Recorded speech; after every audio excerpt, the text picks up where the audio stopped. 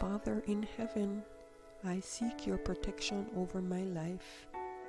You are my refuge and fortress, and I find safety in you alone. I pray for your divine covering from the evil one's wickedness, for guidance to lead me onto the paths of safety. I pray for deliverance from the hands of my enemies. Father, have compassion on me and come to my rescue. You said in your words, Psalms 46, verse 1, that God is our refuge and the strength, a very present help in trouble.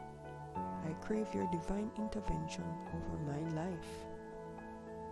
But the Lord is faithful and he will strengthen and safeguard me from the evil one, according to your statement in 2 Thessalonians 3, verse 5.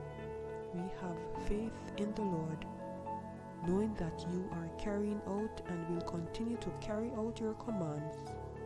May the Lord guide our hearts to God's love and the steadfastness of Christ.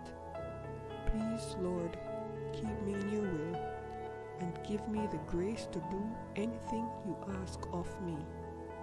Help me to stay away from temptation and to be always conscious of my adversary's attempts to divert or discourage me.